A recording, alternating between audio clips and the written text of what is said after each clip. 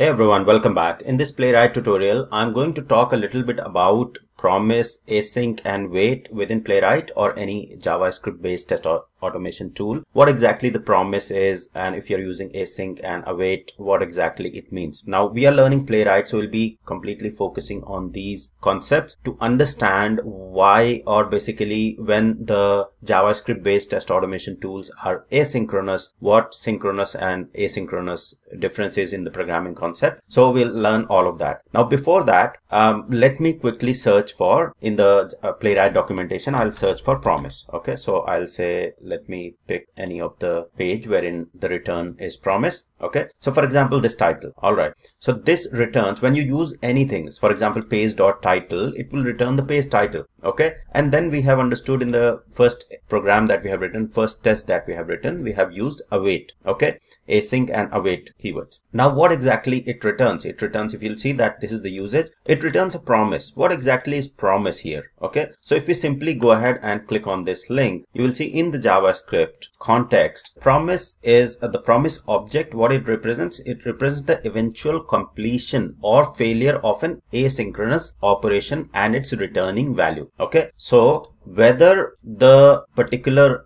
title, right, page dot title, whether it has been successful or a failure as a step when you execute this particular test step to get the title of the page, whether it has been successful or failed along with getting, if say for example, it has been successful, then what is the title of the page that will be returned or this object promise object will basically represents the eventual completion and will return the resulting value. Okay. And that is why it is is showing that it will return a promise and a, a string basically. So along with the promise, whether it has been successful or not, uh, it will return because title will be a string and it will return the string as well. Okay. So when we say synchronous and asynchronous in programming context, so synchronous programming or synchronous programming refers to the traditional programming approach wherein the tasks were executed one after the other. Okay. So like in Selenium, we know that when we write our test case, our first step until and unless that is being successful, it will be, it won't move to the next step, right? And in asynchronous programming, multiple steps or multiple tasks can be executed simultaneously. Okay. This is just a Google search and you can go ahead and read a lot more documentation around asynchronous and synchronous, but the crux of it is that with the synchronous approach,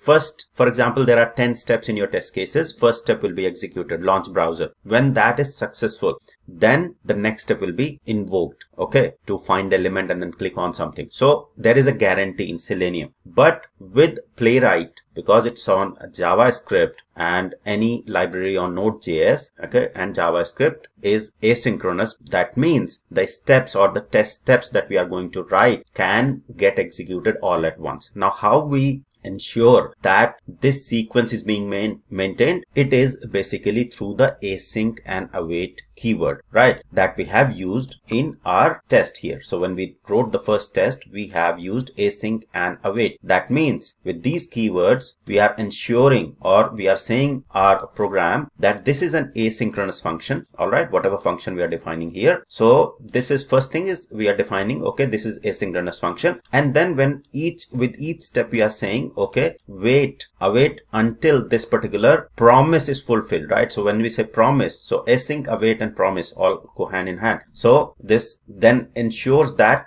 okay what will be the return type of it? It will when we say page dot go to it will return something right? So it will re return a promise whether it has been resolved it has been failed or not right? So if we go to the documentation here and let's search go to okay go to page. So it will returns the main resource response, right? So basically whether uh, the navigation has been successful or not. Okay. And you'll see that frame. Let me go to the page one. So go to page so page go to url okay different arguments that are that you can pass with this particular and what it returns it returns a promise promise is nothing but a object okay and which will have these three states okay one of these whether it's pending okay whether the execution whether that particular step is pending or it has been completely or it has been completed successfully that means fulfilled or rejected that means the operation has failed okay. Now these promises ensure that yes this particular step has been successful. If say for example this the promise that is returned because we have used async and await that means promise will be uh, built in within it. So if we say go to this particular url that means unless and until the promise is or promise object with the required details is returned right whether it's successful or failure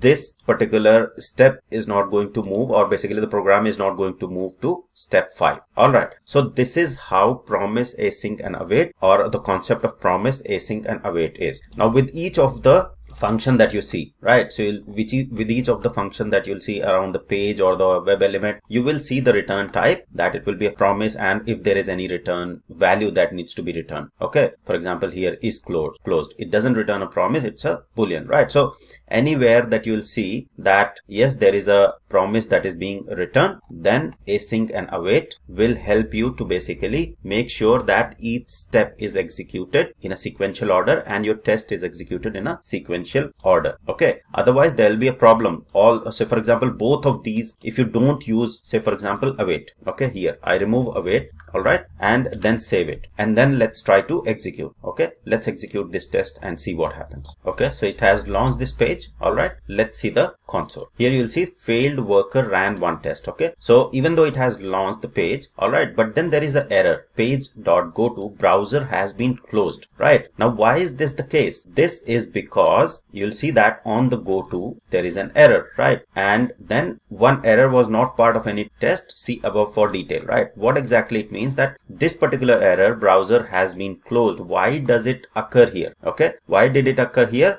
Because with we are defining this as an async but then we are not waiting for the promise object to return right? So you have to use async and await together so that the promise object whatever we have seen here right? So whatever we have seen that these state unless until this state is returned if it if if it says fulfilled then it will go ahead and then execute the next step. But if we don't use this what happens is this then executes all the steps together all right and that's where uh, basically the problem happens right? Because it's an asynchronous so all the steps or all the test steps can ex be executed all at once. And you don't know what response will return uh, on a particular step whether it has been successful or failure. And then it becomes a problem in the asynchronous test cases right? Now if i say for example i remove this async from here okay let's remove async and just use await. Okay?